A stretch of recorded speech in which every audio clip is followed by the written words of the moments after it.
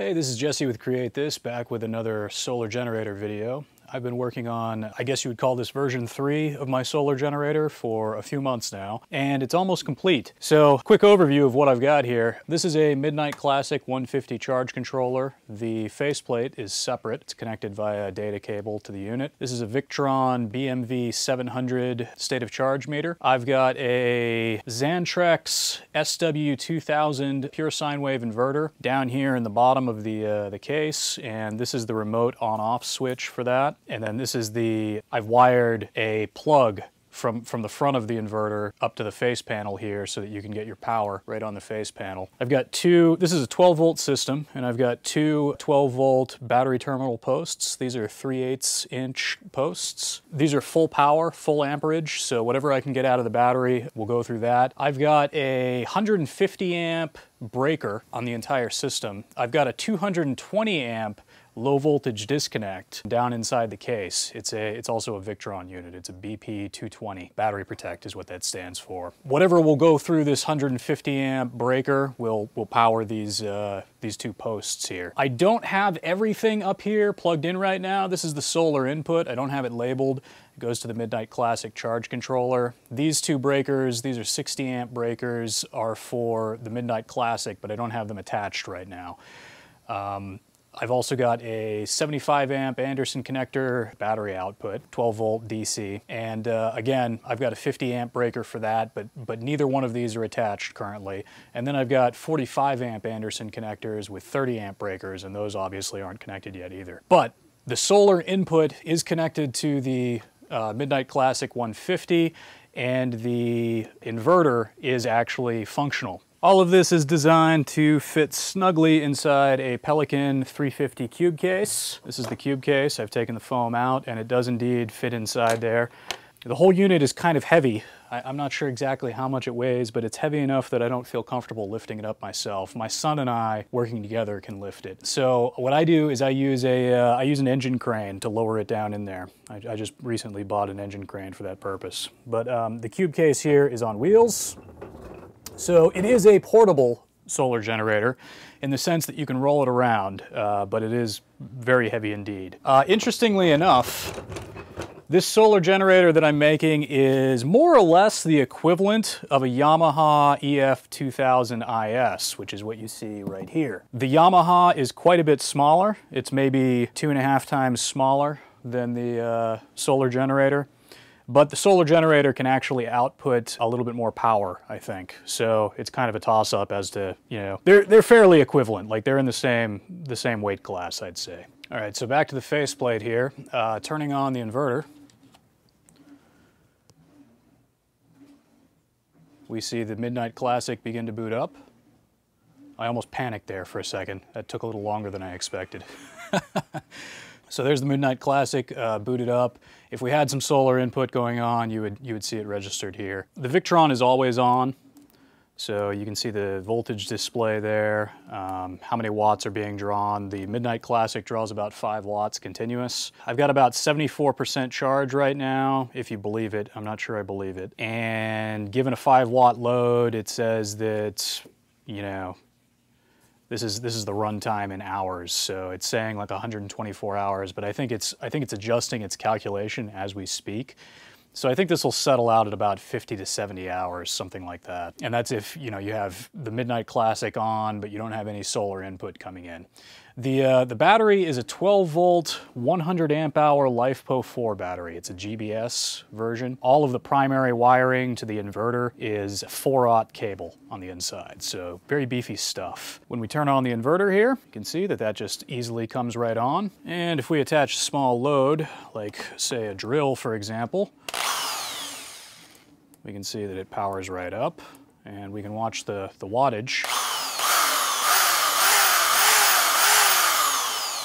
got up to 300 watts there. With the inverter on and the Midnite Classic on, you tend to see about a 10 watt draw. So you can see when I turn off the inverter, There's a 5 watt draw from the Midnite Classic. Turn on the inverter. You get 9 or 10 watts drawn. So the Xantrex SW2000 inverter appears to draw about 5 watts standby, maybe a little less, maybe a little more, it just kind of depends. Okay, so on the bench here I have a Frigidaire FFRE0833S1. It is an 8000 BTU 12 SEER unit, so it's fairly efficient. Not the most efficient thing in the world, but fairly efficient. It takes a moment for the compressor to kick in, so I have some time to talk. Currently, it is drawing 119 watts. That is just the fan unit inside. The compressor has not turned on yet. I have a remote control. It is 77 degrees down here currently in the basement and the set point is 71 degrees. It will kick on in a minute and I will show you that it does indeed run. Voltage of the uh, system is 13.17 volts currently with a 118 watt load. I'll read out the voltage later when the compressor is on. All right, there we go. Compressor is on. Starts up just fine, no problems. We're pulling about 523 watts, 516 watts right now, and the voltage has dropped down to 13 volts, 540 watts, and it'll, it'll ramp up. I've seen it get as high as 800 watts, I think, down in Florida. We're down to 12.98 volts at that range. So I can actually run this air conditioner off of my Yamaha EF2000IS. I did that down in Florida. It works fine. It's, it's kind of interesting seeing an air conditioner run off of a solar generator. So if you had an equivalent of six or 700 watts of solar input, you know, you'd probably need 800 watts of, of panels or, or a little bit more to do that. If you had that much, you could, you could effectively run this air conditioner indefinitely. During the day anyway, you'd be able to run it during the day indefinitely. It's pretty awesome. And again, this is all being driven off of the, the Xantrex SW2000 inverter. My runtime, according to the Victron for this unit on battery power, is about half an hour. Uh, and again, I'm only charged up to about 70% right now, but I'd say that's, that's probably pretty accurate. It might even cut out a little bit before a half an hour. 586 watts, and we're pulling 45.7 amps from the system. Turn that off. It is blowing cold as well. It's nice. All right, this is a 1000 watt microwave. I have a cup of water in there. Uh, on the back panel, it says that it's rated for 1,450 watts. I suspect that this will not run, and I'll, I'll explain why in a minute. But let's let's try, uh, let's fire it up and see what happens here. Put it on for a minute. Holy crap! There it goes. That is drawing 1.85 kilowatts. Wow, that's impressive. 1.85 kilowatts. My voltage is down to 12.53 volts, and I have a half hour runtime, but it's going down. It, it takes it a minute to adjust. And it is drawing 145.4 amps, 146 amps. That is impressive. That's that's almost enough to trip my thermal breaker, my thermal 150 amp breaker up here. 1.8 kilowatts. That is impressive. There we go. See if my water's hot. Yes, it is. I can feel the hot, the, the cup is hot. All right. Okay, just for posterity here, the model number of this microwave is, it's a Hamilton Beach HB P130 AL, uh, AL5 ALS3, I believe. Um, I think I picked it up at Walmart or something.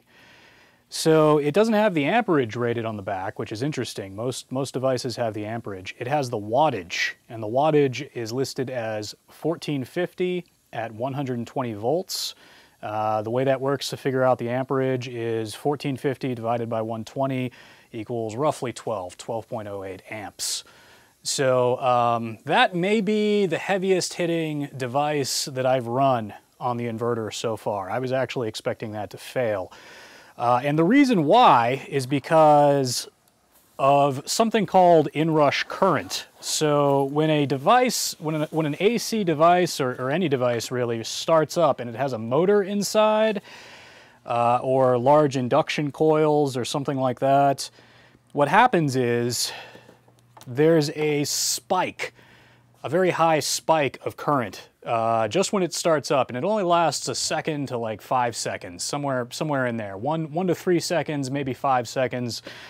Um, and the inrush current for a device, especially for an induction motor, can be anywhere from two times to like 11 times the rated running current. This inverter, again, it's a Xantrex SW2000, is rated for 1,800 watts continuous.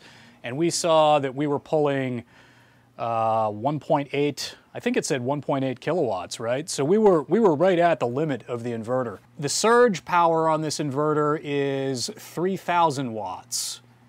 I don't see how long it's rated for 3,000 watts. It might be 30 seconds, it might be five seconds. It's probably something like five seconds, right? Why don't we go ahead and measure the inrush current on this microwave because I am fascinated. Uh, I've been doing this all week with various devices because some things that I expected to run will not run, and I'll get into that more in a minute. But to measure inrush current, I built this little device, and it is just a male plug and a female plug connected by Romex with the outer wiring stripped away. So this is uh, the ground wire, this is the hot wire, and this is the neutral wire. So what I'm gonna do is I have a Fluke, uh, I just bought this, it's a Fluke 376 F, uh, FC, and this is a Bluetooth enabled, I believe it's Bluetooth, it's a Bluetooth enabled clamp meter, goes up to a thousand amps, so way more than we need here. What we're gonna do is we're gonna plug the cable in right here. All right, and we are going to put the clamp meter on the amp setting, and we're going to press the inrush button. And this will allow us to easily measure the inrush current. And then we're going to set this, well, let me, let me put a load back in there. Take my water, put it back in the microwave. And we're only going to set it for 15 seconds this time because I don't need it to be very long. So we'll set this to 15, uh, 11, that's fine. And we'll start it up and we'll see what happens. Okay, so we're reading 7.8 amps in rush. Let's see what it says normal. Normal is 14.5. So the inrush current for the microwave is actually lower than the running current. That's interesting. I was not expecting that at all. All right, so that's all well and good, but uh, Jesse, stop the congratulatory parade and tell us something real. What won't this inverter run? You're absolutely right. One of the most interesting things that I found and disappointing is that it won't run my table saw. So my table saw is actually rated at a lower wattage than the microwave was. Actually, no, it's not. It's rated for 15, uh, 1560 watts. So just slightly higher than the microwave. And well within the wattage rating of the inverter, I might add. The, the continuous rating of the inverter is 1800 watts. So I was expecting to be able to run my table saw, but as it turns out, I cannot. All right, so the inverter is energized, and let's try to fire this thing up. So you can see the, the motor spins a little bit, but uh, it stops ultimately. And we see the error code E10 on the back of the inverter. And we have to shut off the inverter and turn it back on to clear that error if we want. I'll just leave it off for now. So What's happening there? The rating for the table saw, it's a 13 amp table saw, so it should only pull 1560 watt, uh, watts, 1560 watts. So why can an 1800 watt inverter not handle that load? And the answer, again, is inrush current. So let's go ahead, take our clamp meter and our adapter, and let's measure the inrush current for this motor. This is an induction motor. Um, some, some table saws, I believe, use a universal motor, which is a, it's actually a DC AC motor. It'll run either one, but induction motors are AC only. And uh, they're great for table saws, but they're bad for inverters. They, they have a very high starting amperage. So let's go ahead and turn the inverter on. There we go. Turn it over to amps. We'll hit the inrush button here. Okay, and we'll start it up okay? And I'm actually only reading 21 amps of inrush current. I get it now, I see what I did. Okay, so I'm reading 20.7 amps inrush, and I'll, I'll just put this up here so you can see it.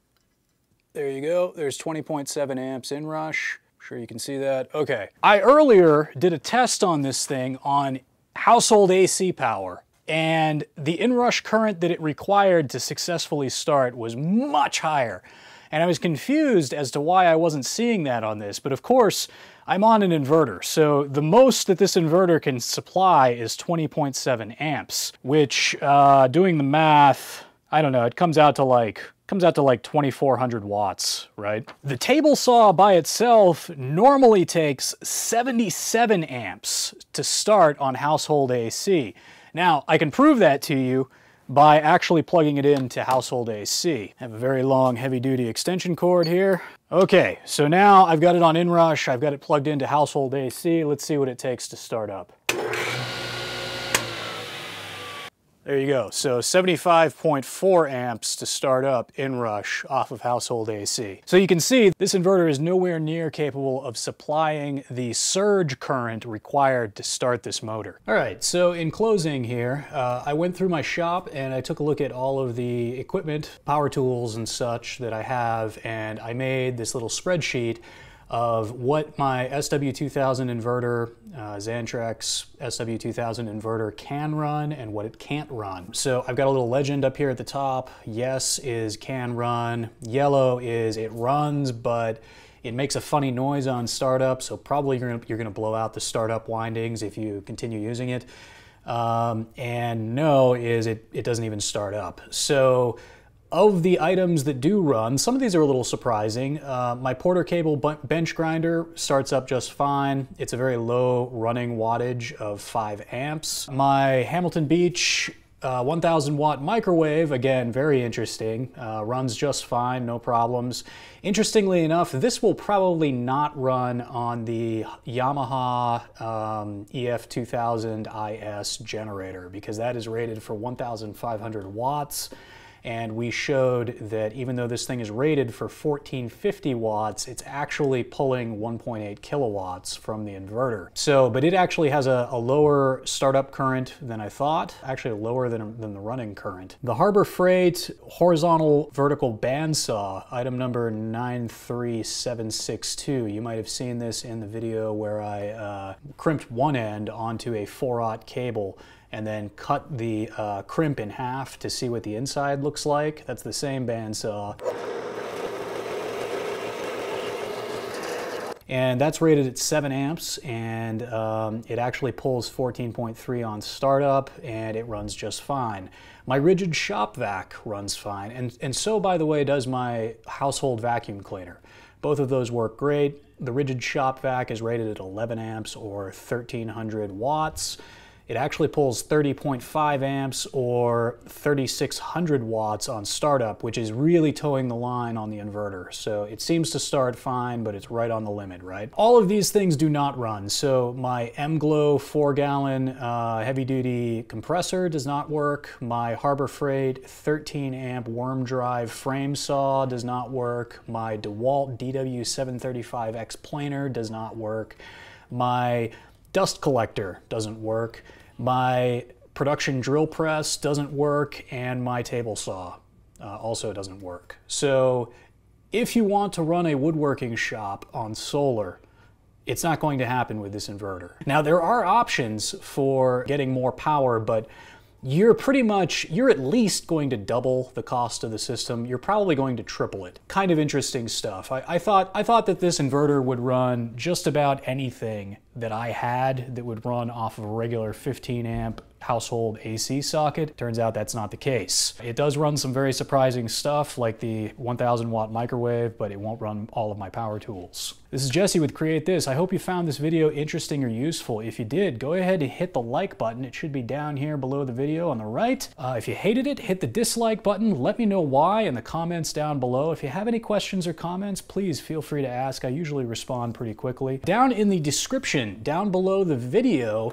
there will be links to the SW2000 inverter, probably the Yamaha EF2000IS inverter and or uh, generator, and uh, probably a few other things. So if you saw something in this video and you're curious where I got it or how much it cost, uh, take a look at the description down below.